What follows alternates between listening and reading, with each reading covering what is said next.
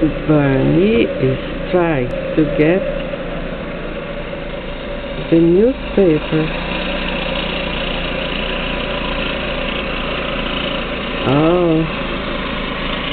Oh.